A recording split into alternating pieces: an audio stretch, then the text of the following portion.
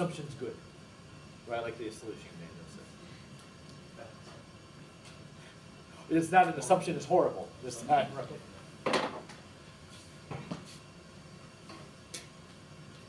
How was that?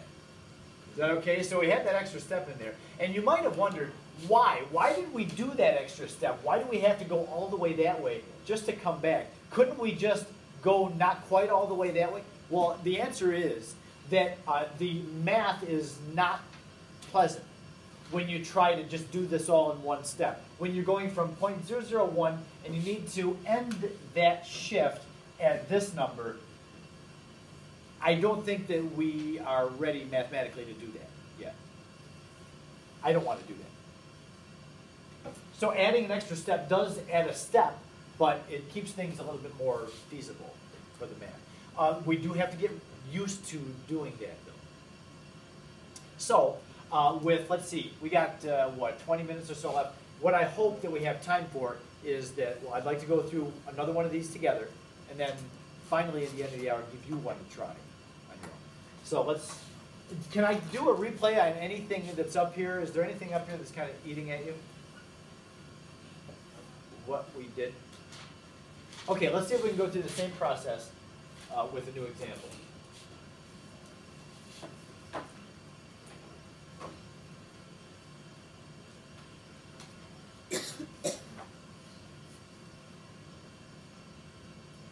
This problem is very similar to the one that we just did, which I think is good uh, with a new technique, just to have a little repetition.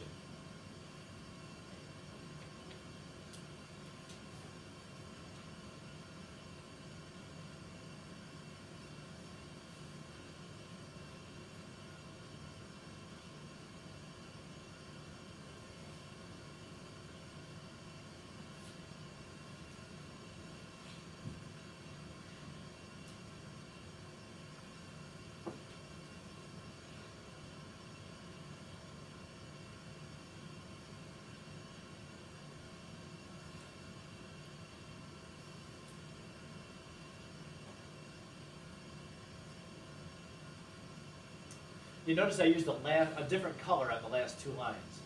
Uh, in the purple, that was not in the problem. So this would have been another problem where you'd have to figure out what the precipitate is.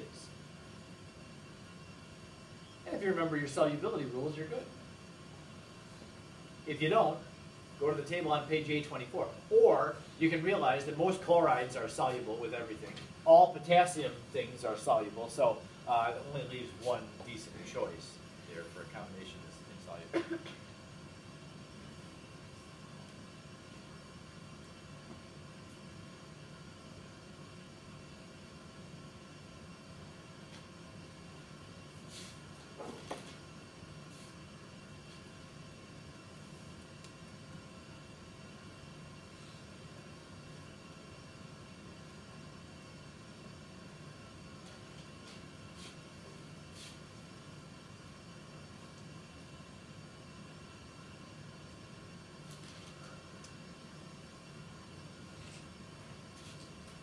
So our potentially insoluble uh, or, or, potential precipitate is the barium sulfate. And uh, that is going to be written in this form with our starting things actually written on the right. we're starting with solutions of barium ions and sulfate ions. This one is not so friendly because the concentration, uh, sorry, the volumes of these two components are not the same. So the volume doesn't just double in this case. So we'll have to use the dilution formula to find the new dilute concentrations. Remember the dilution formula? It should do M1V1 equals M2V2. And when you use the dilution formula, uh, you can keep the volumes in milliliters too, it doesn't matter as long as it's the same on both sides, milliliters on the left and milliliters on the right. So uh, to find the concentration, the dilute concentration of barium, it would just be 75 times 0.02 and then divided by 200. Because yeah, you got M1, V1, and then equals question mark times V2. V2 is 200, so you get the 200 over the left. Anybody have it? What is the concentration of barium? Seven point five? Yeah, So yeah, I'll just write it like this, point zero zero seven five molarity for barium. What about the sulfate? Hundred twenty-five times 0.04 divided by two hundred. one zero two. Thanks. Great. Okay, uh, so right off the bat, uh, will a precipitate form? Is the question is, what are the concentrations of barium ion and sulfate ion at the end, at equilibrium?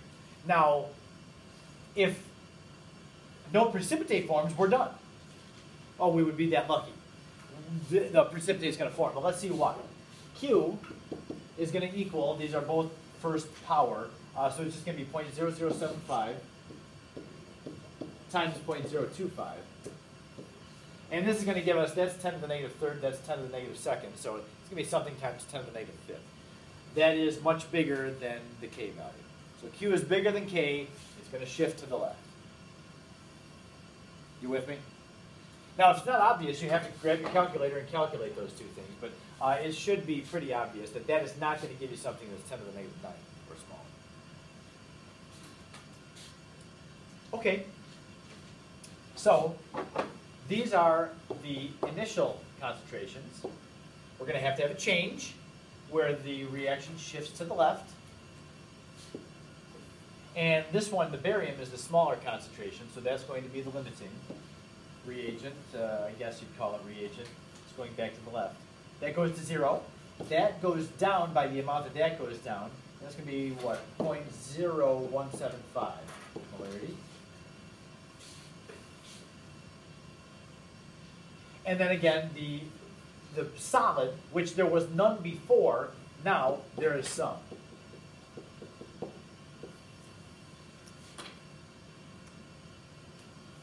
And we can't end with zero of anything. That's bad to end with that. So the reaction has to come back to the, to the right and make some. How much?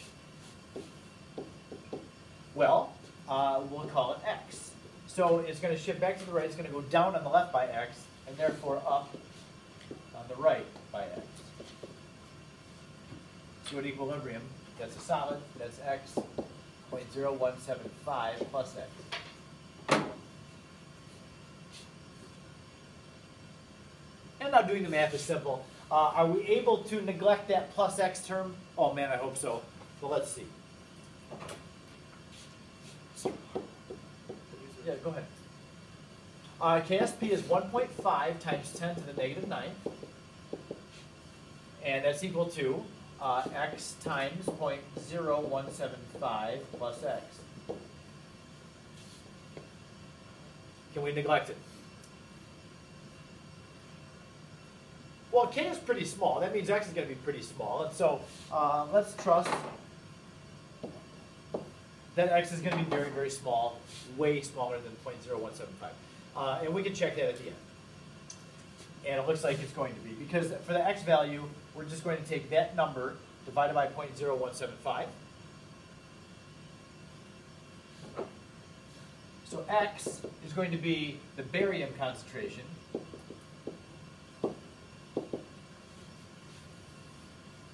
And that's equal to, I want to say 8.6 times 10 to the negative 8. 8.6 times 10 to the negative 8 molarity. So yeah, you can see that uh, that x is really, really small. It would not affect the 0.0175 is way. Okay? And therefore, uh, now, by the way, when you do problems like this, make sure that you're answering the question. The question was, what are the concentrations of barium and sulfate ions? So if this is a quiz, I'm giving you a box to answer, put your answer in. Uh, make sure you give me two answers. Don't just write the x value down and think you're good. What's the other concentration? This was the barium. What's the sulfate concentration? It's 0.0175. Yeah, that's it. Because the x term didn't change it by any, it, it, the x was negligible, I guess you would say. So that the sulfate ion remains at zero point zero one seven five.